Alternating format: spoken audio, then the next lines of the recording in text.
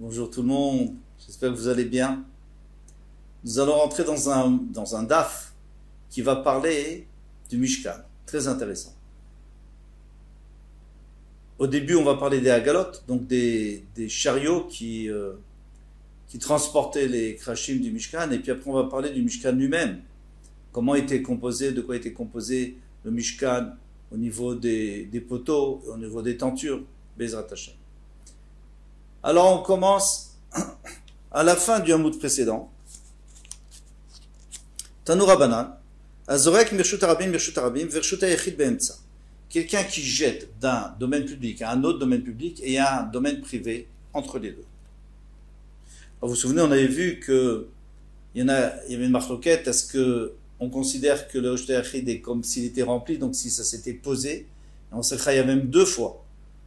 On a posé dans Roshta puis après on a sorti du Roshta on a posé dans Roshta Eh bien, là, vraiment, on n'est pas du tout d'accord avec ça. Alors, Azorek, je reprends Arba Amot, Chayav. Il faut qu'il y ait quatre Amot dans le Shutarabim. C'est-à-dire que ce qu'on a fait, passer par le c'est zéro. Il n'y a rien qui s'est passé. Il n'y a aucun issou. Parce que ça ne s'est pas arrêté dans le Shutarabim. Donc c'est comme si on avait transporté dans le Shutarabim. Et dans le Shutarabim, pour être Chayav, il faut transporter quatre Amot. Donc il faut qu'il y ait quatre Amot entre l'endroit où il a jeté et l'endroit où c'est tombé.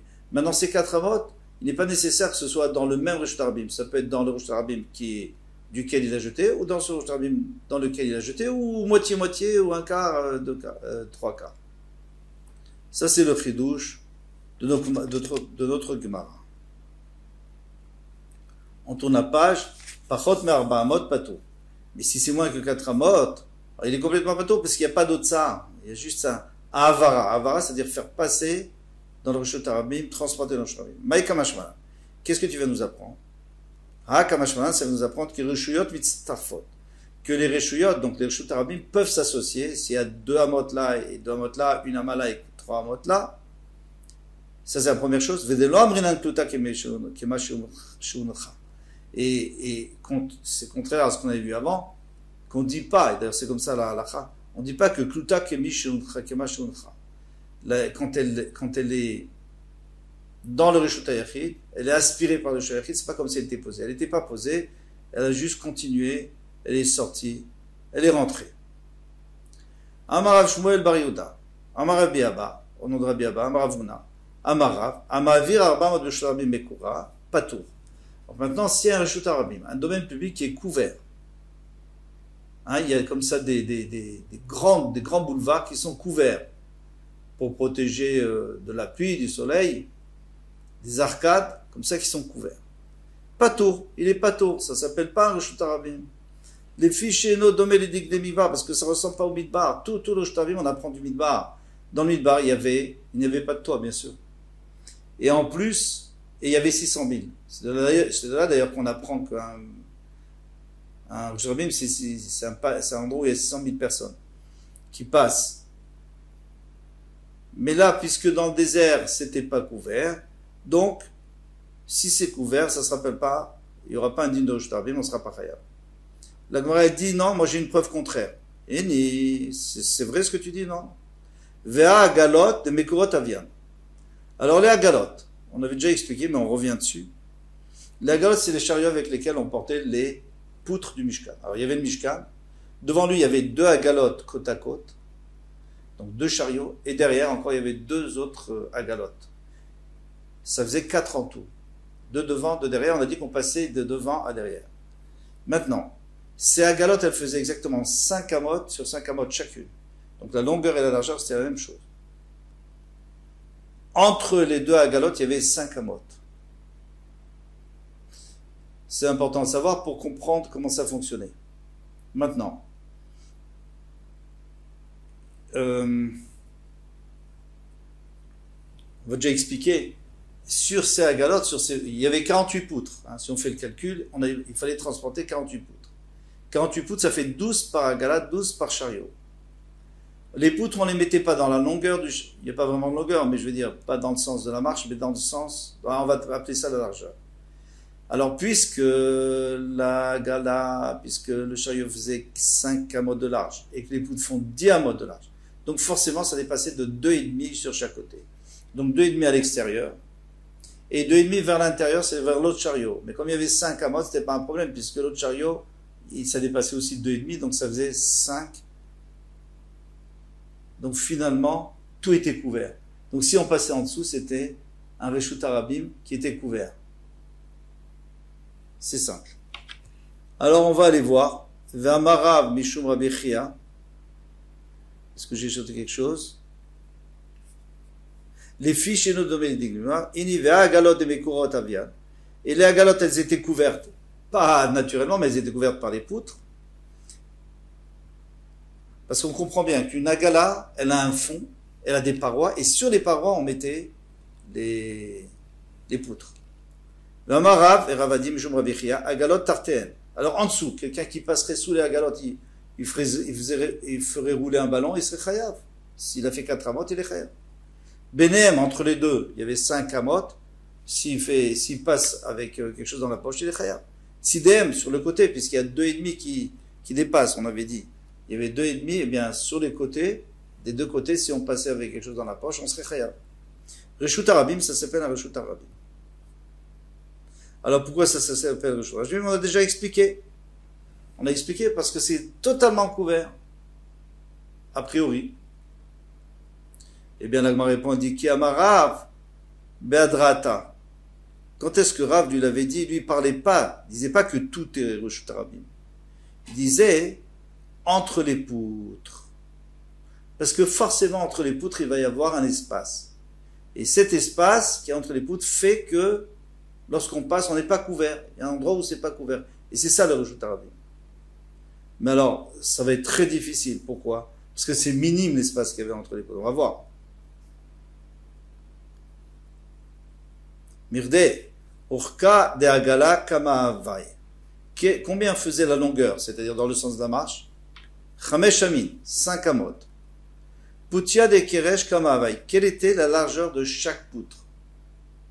Hein, Les poutres, elles étaient disposées de Mishkan. On, va voir dans le Hamoud prochain, on va voir exactement comment on arrivait à, 30 amot sur 10 amot le Mishkan. Mais en tous les cas, les poutres, elles étaient dans la largeur. Elles faisaient euh, Poutia de Keresh Kamavai, Amata ou Palga. Elles faisaient une ama et demie. D'accord? Kama motif. Combien il peut mettre? Combien il peut mettre sur, euh, sur une... Euh, combien il peut en mettre sur, euh, sur, le, sur le chariot, puisqu'il y a 5 amotes, et il fait une et demie, une et demie fois 3, on peut mettre trois rangées. Trois rangées de poutres, et donc c'est des rangées qui font chaque fois un téphare et demi, et on met quatre étages. Pourquoi? Parce qu'il nous faut 12, on avait dit.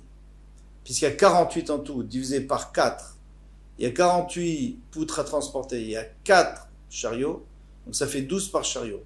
Si je peux en disposer 3, donc je suis obligé de mettre 4 hauteurs. Bon, ça fait 4 euh, poutres dans la hauteur, puisque c'est l'épaisseur de la poutre, elle fait qu'une amas.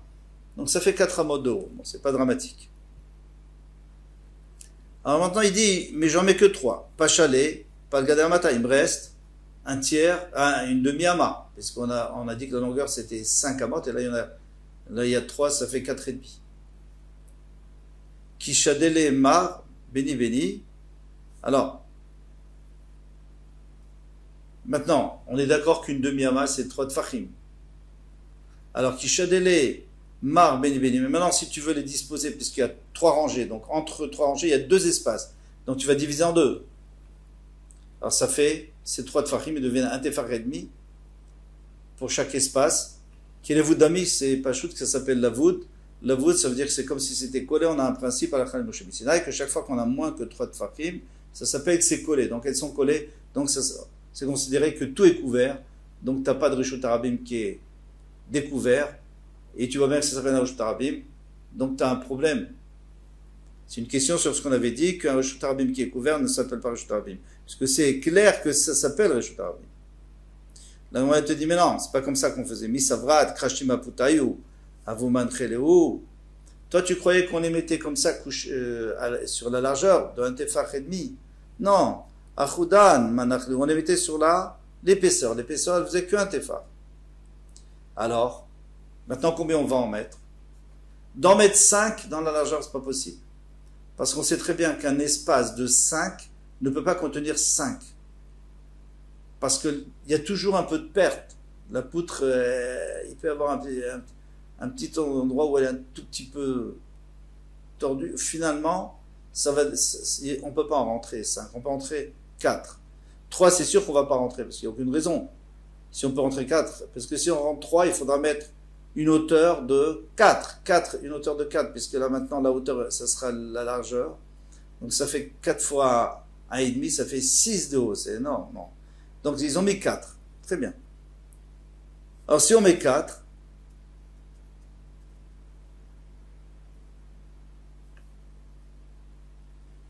les il nous reste un tefar. C'est déjà pas mal. Un tefar, ça fait, ça fait 6, pardon, une ama, ça fait 6 tfachim. Sauf, sauf, sumcha de keresh, kamara. Combien il faisait l'épaisseur Amata. Kama motif, arba. Combien il mettait? 4, comme on a dit. Pashala amata, il reste une ama. Kishade la mar benebene. Maintenant, quand on va la, la, la, séparer en trois, parce que comme il y a quatre rangées, il faut laisser un peu d'espace entre les rangées. Donc on va la séparer en trois.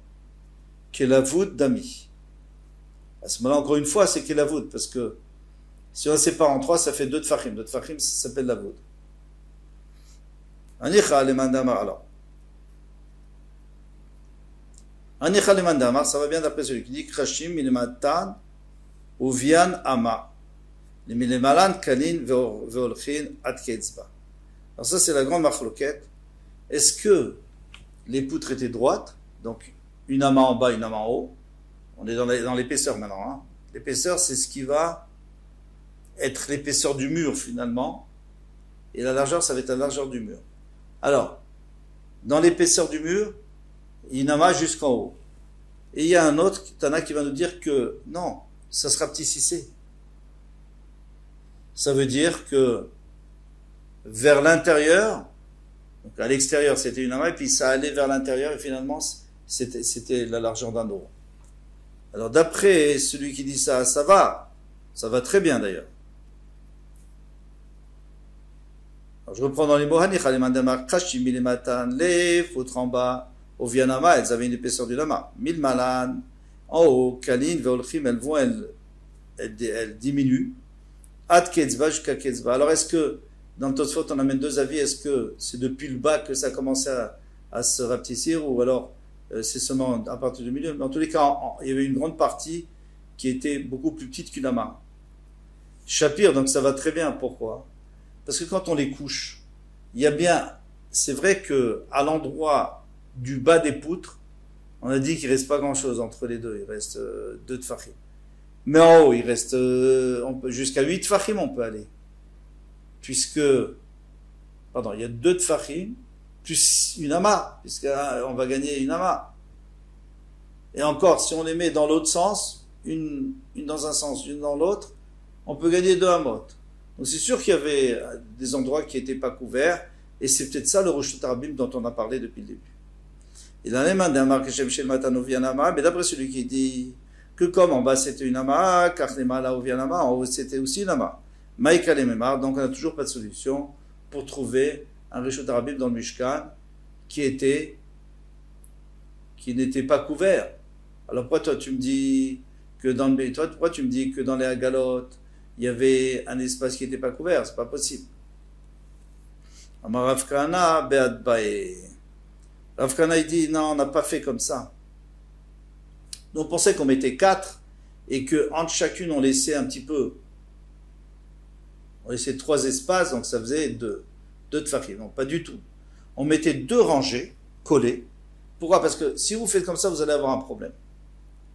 Parce qu'il y a les tabaot, ça prend beaucoup de place, les, les donc les anneaux dans lesquels on rentrait la barre pour faire tenir tout le Mishkan, eh bien, ces anneaux, ils prenaient de la place. Donc si vous les mettez l'un à côté de l'autre, chaque fois vous allez perdre la place des anneaux, et, les deux anneaux Bon, alors n'est pas tout à fait d'accord, mais il ramène ses Ravanim qui le disent, les deux anneaux, ils vont se déranger l'un l'autre. Alors qu'est-ce qu'il faisait C'était simple. Il mettait, on a quatre, on met deux rangées de deux. Donc à droite, à droite ça veut dire devant. À droite, on va mettre deux collets avec les anneaux vers l'extérieur. Donc un vers l'extérieur, ne nous intéresse pas vers l'extérieur de la, devant, devant le, devant la gala, devant le chariot, ne nous intéresse pas. De toute façon, ça prend pas de place. Derrière, on va mettre aussi deux collets et un anneau vers l'extérieur. Et les anneaux de l'intérieur, eh bien, on a de la place maintenant, puisqu'il y a une amas. Donc les anneaux d'intérieur, ils vont plus, ils vont plus se déranger les uns les autres. Et il y a une amas. Et s'il y a une amas, forcément, il n'y a plus la voûte, puisque la voûte, c'est trois de. Et là, il y a six de. Donc c'est de ça qu'on parle quand on dit que c'est un Roshot Ça, c'est ce que Rav a répondu. Bravo. Seulement quoi? Adbae agava de agala. Tout ce que toi tu me dis, qu'on les avait séparés à cause des, des, des, anneaux et tout, ça c'est dessus de la gala. De toi. Hein. Mais agala goufa, mekura havai. Mais la gala elle-même, toi tu m'as dit que même en dessous de la gala, celui qui jette un ballon, qui, fait, qui porte quelque chose, il sera khayab. Mais sous la gala, laisse tomber le dessus. Le dessus, d'accord, c'est pas tout à fait couvert. Mais il y a le fond de la gala, ce qui est en ce fond-là, il fait un toit. Amar, alors on tourne juste la page. Amar Shmuel d'autres. Il dit, mais qui te dit que le fond de la gala, il était fait avec des lattes de bois? Mais non. Le fond, il était fait avec des piquets, des, manches à balai, on va dire. C'était ça le fond. Et alors, ils étaient bien séparés les uns des autres. Combien il y avait besoin d'en mettre? Il fallait juste pour que ça tienne, puisqu'on mettait rien dedans, on posait dessus. Il fallait juste pour que ça, ça tienne les murs entre eux, les murs, les cloisons entre eux, entre elles. Eh bien, eh bien, là, il suffisait de mettre des, tiges de bois, comme ça, des, des genres de pieux, en bois, tous les, je sais pas, tous les tous les amotes peut-être, un amas, en tous les cas, plus qu'un tous les trois de fakim. Donc en dessous, il n'y a pas de problème. En dessous, c'est sûr que c'était c'était découvert. Maintenant, au-dessus, c'était un problème. Alors, on a trouvé une solution. Qu'au milieu, il n'y avait pas de problème. C'est là-dessus. Alors, on reprend ce qu'il nous avait dit, Vermarav, Mishum Rabichia, Agalot, Tartem, en dessous, ou Benehem, et entre elles, Vetsidem, et sur les côtés, Rishut c'est Rishut parce qu'on parle des endroits qui ne sont pas couverts. Voilà. Chazak À bientôt. Zrat